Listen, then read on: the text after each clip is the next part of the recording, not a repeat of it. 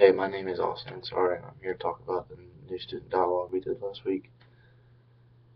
Um, the first thing we did was the instructor had everyone had everyone get up in front of the classroom and um, had to break the ice. So each person had to tell their name, their major, and where they're from, and one fun fact about themselves.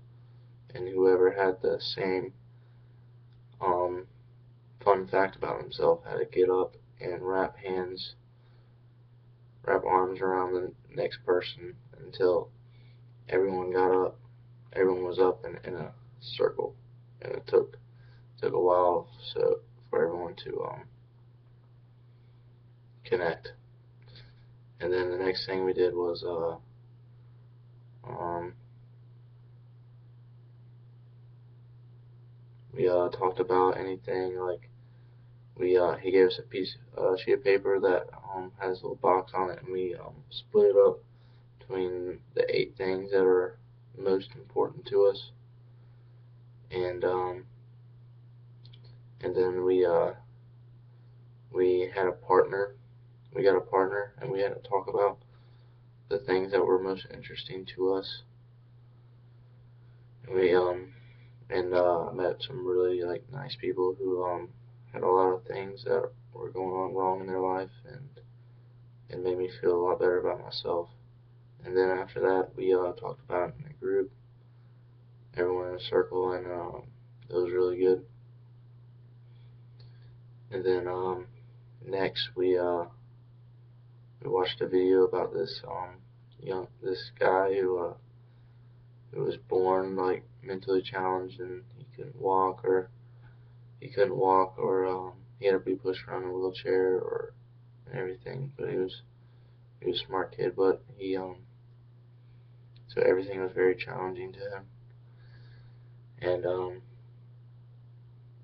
yeah, it, it was a long video about about this guy and uh and he still he's he still could do uh everything anyone else could even if even though it was a lot harder.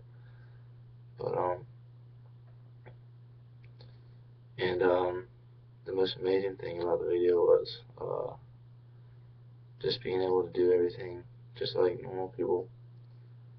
And uh, he was even able to get a, in uh, there. He was chatting online with a uh, girl, and um, I don't think the girl knew that he was uh, in a wheelchair and couldn't talk, he could only type on his keyboard on this thing, on his wheelchair.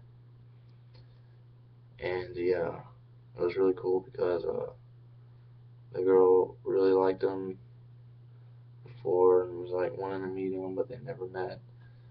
And um, and then they finally met, and uh, the girl wasn't wasn't ready for that and being like that, but um, she still stayed with him, and, and they um, they really um, and they even I think got married at the end. So I mean, anyone it can for anyone. So it made me really realize that um how fortunate I am and how fortunate I, I don't have to be like roll around a wheelchair all day and I can't even talk. I to type it in my computer on my on my wheelchair, and other people have to push me around, and people look at you weird. And um, I was very surprised about all the people that had something wrong with them in the classroom, and like one guy was dyslexic, and he had to um, he had to work twice as hard in school as anyone else, which is already hard because he's at a he's at a at Clemson University, which is a tough academic school. But even when he was young age, he, he worked hard and knew it was going to be a lot harder than for for himself and everyone else. But he really made it work, and I felt like that was like that was pretty cool because I don't know, it just made me feel really fortunate that um I was so lucky not to have any of those disabilities and everything and that and that was pretty much the whole the student dialogue thing, and uh, it was a really good experience, and I was, I was glad I got the opportunity to do it. And this is my video log. Thanks.